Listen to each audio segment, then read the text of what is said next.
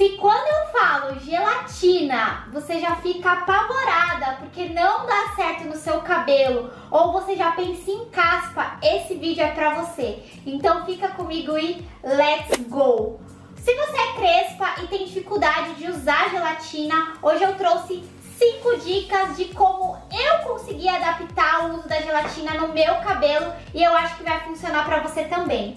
A primeira Escolha a gelatina ideal para o seu cabelo. Eu sei que existe muita gelatina no mercado, mas eu vou indicar para vocês as gelatinas que eu já testei e que realmente funcionam em cabelo tipo 4.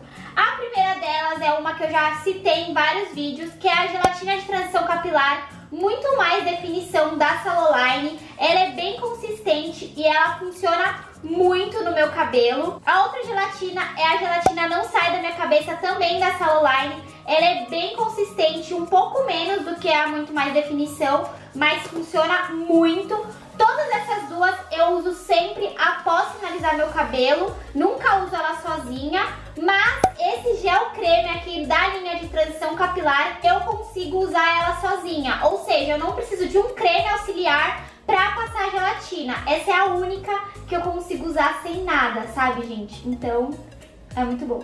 A segunda dica está relacionada à porosidade do cabelo crespo, ou seja, sabe aqueles, aquelas cascas, aqueles flakes que se formam quando você usa gelatina e que a gente odeia? Ela é formada por causa da porosidade do cabelo tipo 4. Então o que você pode fazer? Você pode cuidar dessa porosidade, fazer umectação, fazer finalizações que usem óleos vegetais ou hidratar um pouco mais para conseguir fechar as cutículas do cabelo. Caso você não consiga, é, no dia que você tiver a fim de usar um pouco mais dessa gelatina, você pode finalizar e no final usar um pouco de óleo e depois vir com a gelatina que vai evitar com que o cabelo não consiga absorver o efeito da gelatina.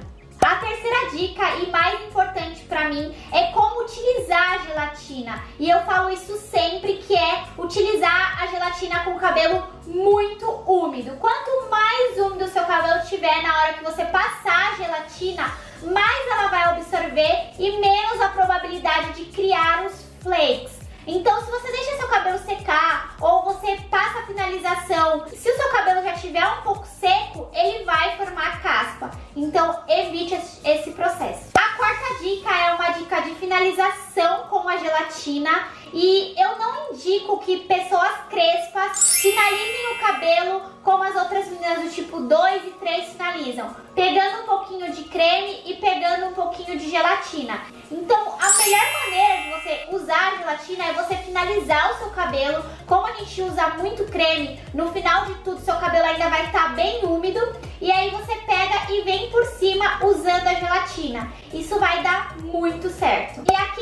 A dica, que é a pergunta que todo mundo me faz, é por que eu uso a gelatina, né? Para que serve a gelatina? A gelatina ela foi feita para dar mais definição, para segurar. Ela nada mais é do que um gel, só que hoje em dia é um gel sem álcool, feito especialmente para cabelo crespo e cacheado.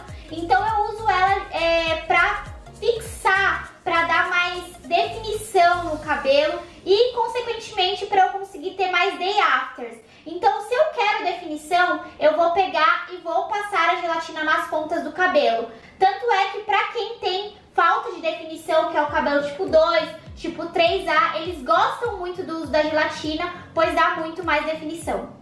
Então é isso, gente. Eu espero muito que vocês tenham gostado do vídeo. É, se você já, já aderiu a algumas dessas dicas aí na casa de vocês, ou se você tem outra dica de como usar gelatina, comenta aqui embaixo, porque, gente, sério, descobrir uma maneira de como usar gelatina, porque antes qualquer gelatina que eu passava no meu cabelo craquelava, virava uma paçoca, era péssimo. Então por muito tempo eu desisti de usar gelatina, mas agora, olha, tá dando certo, tá muito bom e ajuda muito pra gente conseguir ter vários dias aí no cabelo. É, comenta muito aqui embaixo, curta esse vídeo, não esquece de me seguir em todas as redes sociais, se inscrever no canal. Então é isso, um beijo e tchau!